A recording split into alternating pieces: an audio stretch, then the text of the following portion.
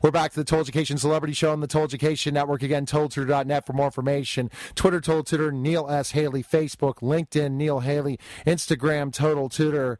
And also Pinterest, Neil Haley. And I'm so excited to have another Olympic athlete. And uh, I had Katie Uhlaender on my show, and it was just an unbelievable interview. And the one person I wanted to have on, because my memories of 2014 in Sochi, uh, my memories really w- was the event, the skeleton and it's just because of the great uh, role models for for girls and for women and how they uh, were just great representatives of the United States. So I'm so excited to welcome the program. Noelle Pikus Pace, silver medalist from the 2014 Games uh, in Sochi. Noelle, thanks for calling, and it's an honor to have you on the show. Yeah, thanks for having me.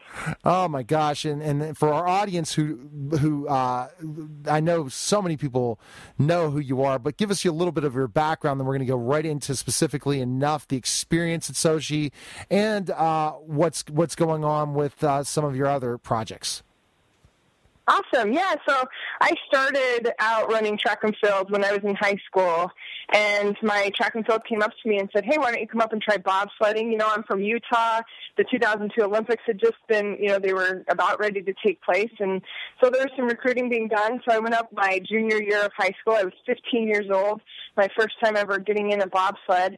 And the following year, in my senior year, I switched over to skeleton, and that's just head first on a little cookie sheet looking sled. You run, you jump off your stomach, and you go flying down the side of a mountain at speeds about 90 miles an hour. So I just fell in love with it, and I quickly excelled in the sport.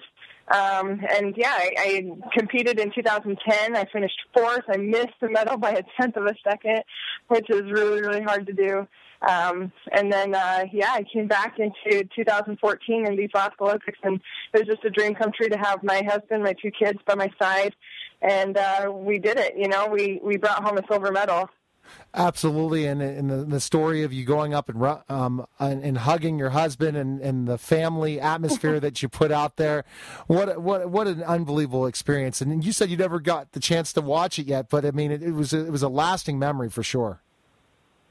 Yeah, you know, I I don't remember. I remember like bits and pieces of doing that. I just remember being so full of emotion and gratitude, and um, pretty much every emotion that I have ever felt was just all wrapped up into one instance. And it was right when I crossed that finish line, um, and just remembering, you know, it wasn't just about that time that I had. It wasn't just about that um, that moment. It was about everything, the culmination that all came to that one moment. It, it was just uh, all the sacrifice, all the time, all the tears, all the, you know, joy was just brought into that one instance. And then just I jumped up. I wanted to celebrate with my family, and in a moment, I was also on the, on the other side of the barricade and the other side of the the stand, hugging my family, and it was just a moment that I'll always remember. So, for the listeners out there, she uh, went came out of retirement to do this and to, to have this opportunity, and say you're not going to stop, and yet had this experience to a lasting memory to to spend with your children. What a tremendous. Uh, experience for sure. But before this, the the whole thing leading up to this, I mean, it, it's definitely a storybook story in so many ways. Because think about this: the commercial that Pampers did with you. It, it was just, it was yeah. tremendous. It, I mean, I, I, it's a lasting memory. I have five children my own, and uh, just to think about looking at their little milestones, what a tremendous thing. So, to kind of explain what you're doing with Pampers.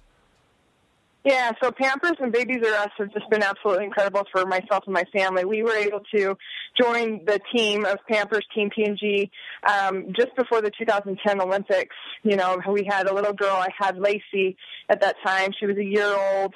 And uh, that's just one less headache that we had to worry about while we were at the games and going into the games with diapers and wipes and everything like that. And then coming into these Olympics into 2014, it's been nice to partner up with Babies R Us as well. That's just, it's an incredible store, an incredible company to be able to work with where they cover all, you know, all sorts of milestones for kids of all ages. So it's definitely been a place where my family and, and I have been shopping for years and years. So it's just been a perfect partnership and the way that they support the family and, you know, the Thank You Mom campaign has just been absolutely wonderful. And so you've really enjoyed the whole process of this campaign, especially the Thank You Mom campaign. Explain a little bit how that goes. Oh, absolutely. It just shows, you know, how much our moms have done for us. As Olympians, we know that we've never been able to get to where we're at alone. It always starts somewhere. It started with my mom. For me, it started, you know, when I was 15 years old. I couldn't drive myself up to go train, so she would take time off work and she would I just remember day after day after day her driving me up to practice and waiting in the freezing cold weather. We'd go afterwards after every single time we'd go and get like a little hot cup of cocoa or some hot chili or something. And those are just memories that I cherish and I have my my mom and my dad to thank for for the opportunity to be able to become an Olympian and to be able to have the success that I've had and that's so important to thank your family and thank who got you where you are today.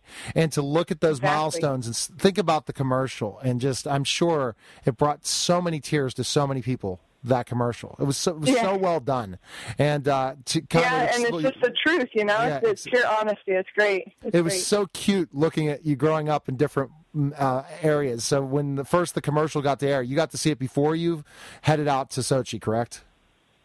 The commercial. Um, yeah, I, yeah, I saw. Yeah, I saw. They've they've done so many different commercials with different athletes, and I was able to see a handful of those before I headed out. And every time I've ever seen any of their commercials, as I'm sure have brought tears to many of your eyes, I was bawling when I saw it. So That's great.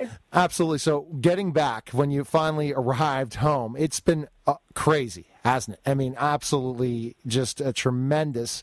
Uh, from uh, how what more well known you are after this, and with the commercial, and then the silver medal. So, take us back after you know winning the silver medal, and then heading home, and how many weeks you've been home so far, and how crazy it's been for sure but great for sure as well. it's been it's been a whirlwind to say the least, and just the support that we have had and the love that we've been shown throughout the years, and then obviously after coming home has just been so incredible. We got home and our whole community had the whole street, the whole city lined up with you, you know, the USA flags, and they were all over our yard, and we had probably I don't know how many hundreds, if not a thousand people um, at a homecoming for us, just waiting to cheer for us and, and give us hugs and show their support. And then since then, um, I've just had the opportunity to go speak to a lot of different youth groups and companies, which is something I've always wanted to do is motivational speaking. And uh, now I'm writing a book.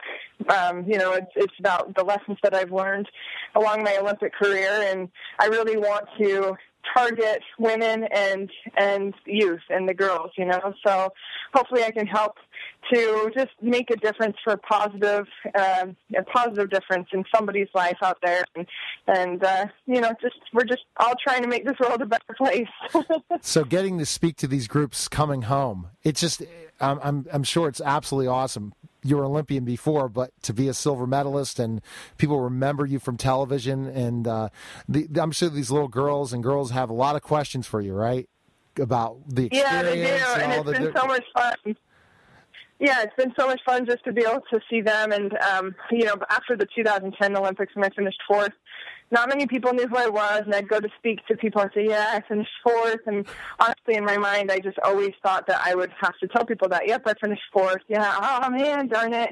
You know, and uh, and then my husband talked me into coming back out of retirement. He built my sled, which was an incredible feat, and so it really has been a family affair. And we were able to raise the money to allow us to travel the world together for these past two years, which allowed us to have this opportunity to, you know, earn this medal. And now when we see people, it's not, oh yeah, I finished fourth. It's wow, we saw that, you know, and and I think people understand because this is the truth from my heart. I, it really didn't matter if I won a gold or a bronze.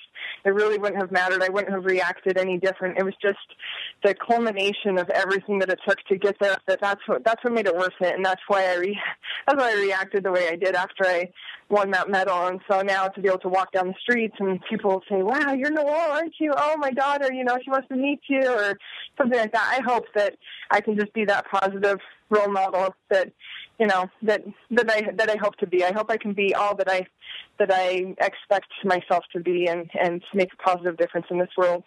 And when you were talking about how you're going, you're really trying to definitely help empower youth, especially girls.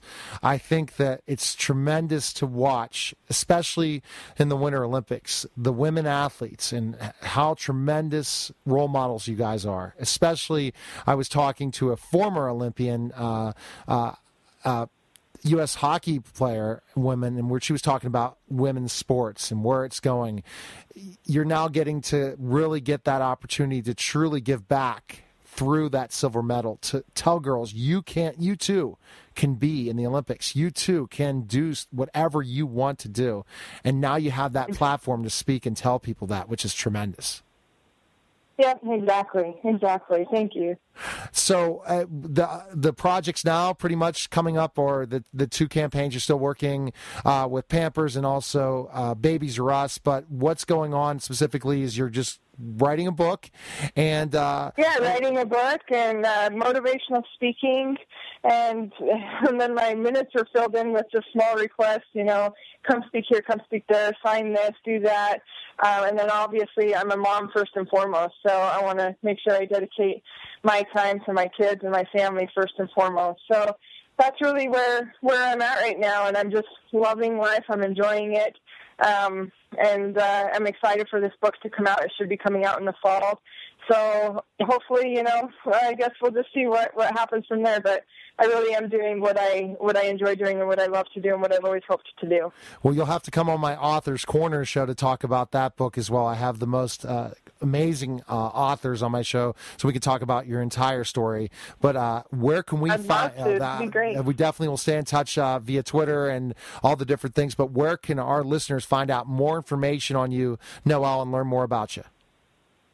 You can go to noellepikuspace.com or you can also follow me on Facebook and Twitter. Twitter is at Noelle Pace and Facebook just search for Noelle Pikus Pace. it's pretty simple. well, Noelle, thanks again for taking the time again because I know your busy schedule, so you f- you were able to fit me in, and uh, I enjoyed hearing about the story, and and again, our listeners out there picturing that story and saying how cool it is to listen to you and your excitement for sure. And uh, I know that you're going to be doing some amazing things and take use this platform to really transform society. And you you see that as a mother who's an athlete you too can be a, a, mom and an athlete in one. Just like uh, I've had other athletes on that are that are moms. It still does not mean you can't be a superstar, world class athlete like yourself. So thanks again for calling, Noelle, and we'll definitely stay in touch, and we'll have Thank you back you. on when your book is out. So thanks again for calling. Thank you so much. Have a great day. You too. Take care. You're listening to the Total Education Celebrity Show on the Total Education Network, and we'll be back in just a moment.